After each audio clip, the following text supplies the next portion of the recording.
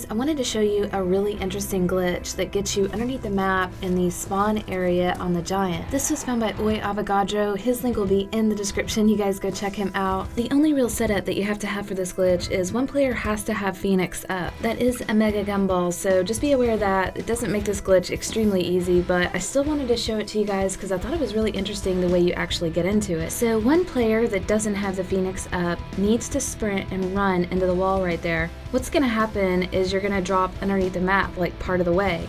And the way that you get under the map the rest of the way is cook a grenade and down yourself and it will drop you completely underneath the map. Once that player has dropped underneath the map, you need to have the other player with the Phoenix up use that gumball and revive him. There's no other way to revive this guy, he cannot be accessed, he's too far underneath the map. You can do this on solo with quick revive, but once you're under there you cannot access ammo, so this is probably better for like a team setup. One important thing to know about this is that the player that's underneath the map is not going to be able to see very well. The visibility is really limited, so it's recommended that you have one player stand in the spot spot on top of the map where they want that player to walk to to create the pileup. Because that player underneath the map can see that person's like green outline. So they'll know to walk to that person and then they can just stand there and then they'll create the zombie pileup on top of them and it's best to create the pileup right at the base of those stairs right there from the teleporter. Then the other players that are on top of the map can stand back by that fence by the RK5 and be completely safe from the zombies. Again you need to be standing up against the fence and no zombies will come to you but there still will be dogs coming at you. This is a really good spot to get the RK5 5 pack a punch it, get Blast Furnace added on. You can level up your RK5 really quickly like this. The Blast Furnace add-on is like unlimited killing into infinite rounds, so it makes that RK5 just a total beast. So you can pretty much just stand back by that fence, use that RK5 with unlimited ammo, and just get into some really high rounds. But I hope you guys enjoyed this, and we'll see you next video.